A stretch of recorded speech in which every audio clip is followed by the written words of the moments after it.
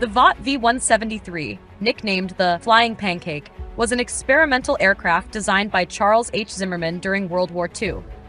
Its unique, flat, disc-like shape and large propellers at the wingtips were intended to provide exceptional low-speed control and maneuverability. The V-173's design aimed to allow for short takeoffs and landings, making it suitable for deployment from various naval vessels.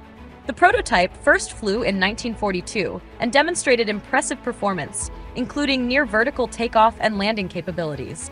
Despite its innovative design, the V-173 never entered full-scale production due to the emergence of turbojet technology, which offered superior high-speed performance.